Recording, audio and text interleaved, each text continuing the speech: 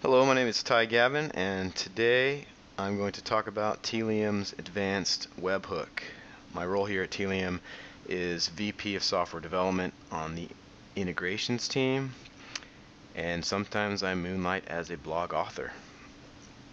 I've written one on Tealium's advanced webhook, and so this is sort of the video version of what's been posted online.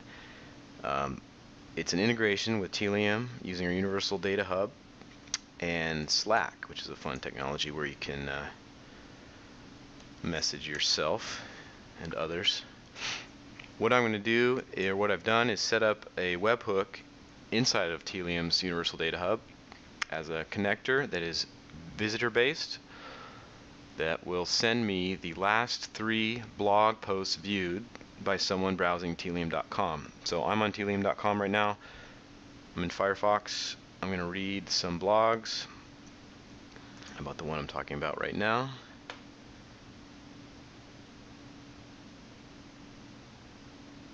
And I can even look over here um, and check out the data layer that Tealium is collecting. See, it's a robust data layer here with lots of cookies. We're picking up automatically DOM data points, and there's even a post author named Ty Gavin. This is the key that I'm using. So there's one blog post we've read. Let's go back and read another one.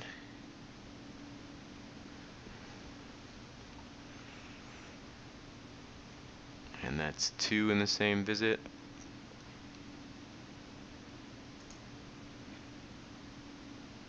And then we'll read one more. We'll keep an eye on Slack. There it is. So these are the three blog posts I just read it sends me directly a message in my Slack inbox. So how does how do we make that work? Well, we used well first we had to do some research on Slack, understand how their incoming webhook works. We had to set up a specific endpoint that will go just to me and do some research here to figure out what the format of the data payload that comes across. So there's a simple JSON structure, key value pairs, username, icon, and text the message itself.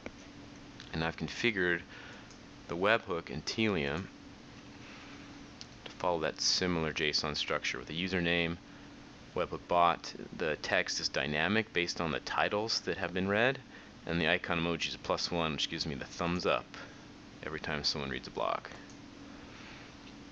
Uh, this is done using the send custom request connector inside of Universal Data Hub.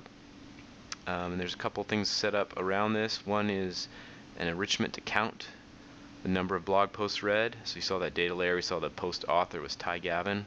Every time an event happens with post author Ty Gavin, we'll increment this metric here, Ty count of blog posts read by one.